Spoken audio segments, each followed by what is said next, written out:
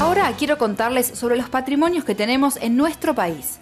Argentina cuenta con 13 patrimonios de la humanidad, declarados por la UNESCO. Estos incluyen 5 sitios naturales, 6 sitios culturales y 2 propiedades culturales inmateriales. El primero de los patrimonios que se declaró fue el Parque Nacional Los Glaciares, en la provincia de Santa Cruz, en el año 1981. La importancia de este lugar reside en que es el área más extensa de los procesos glaciológicos del período cuaterniano en Sudamérica. Este es un sitio de una belleza imponente y una importante reserva de agua dulce.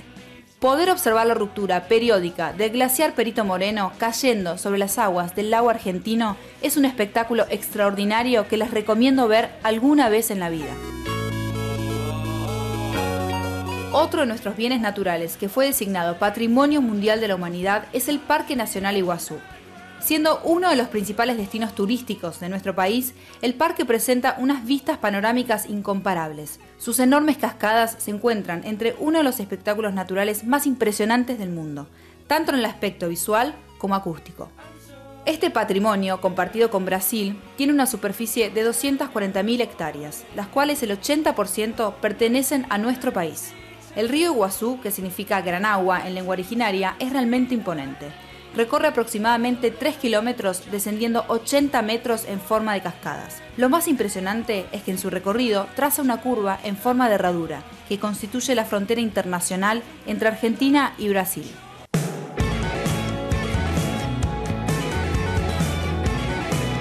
Otro de los patrimonios naturales en Argentina incluyen Península Valdés, un lugar de preservación de mamíferos marinos de importancia mundial como ballenas francas, leones marinos y pingüinos. Los parques Ischigualasto y Talampaya en la provincia de La Rioja, que se caracterizan por tener un registro excepcional y completo de la vida animal y vegetal en un periodo geológico de más de 200 millones de años. Y el Parque Nacional Los Alerces, que fue elegido gracias a su espectacular paisaje moldeado por las glaciaciones sucesivas en forma de lagos, valles de altura y cumbres rocosas. Este fue el último de los patrimonios de Argentina incluidos en la lista de UNESCO en el año 2017. Entre los patrimonios culturales se encuentran las misiones jesuíticas guaraníes por su valor testimonial, cultural e histórico, la Cueva de las Manos, un conjunto excepcional y único en el mundo del arte rupestre, La Manzana y Estancias Jesuíticas de Córdoba, un ejemplo excepcional de experiencia religiosa, social y económica, que se llevó a cabo entre los siglos XVII y XVIII. La Quebrada de Humahuaca, un imponente valle montañoso cuyo espectacular y colorido entorno natural se mantiene casi intacto. Capac Ñan, un extraordinario sistema andino de carreteras construido por las comunidades prehispánicas andinas y la obra arquitectónica de Le Corbusier, gracias a su contribución excepcional al movimiento moderno y que en Argentina se refleja en la famosa casa del doctor Curuchet en la ciudad de La Plata.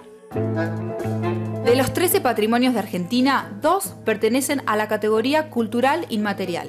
Estos son el tango, cuya letra, danza y música son la manifestación popular urbana de la identidad cultural de los porteños, y el arte del fileteado, una técnica pictórica porteña que se convirtió en una expresión del patrimonio cultural de la ciudad.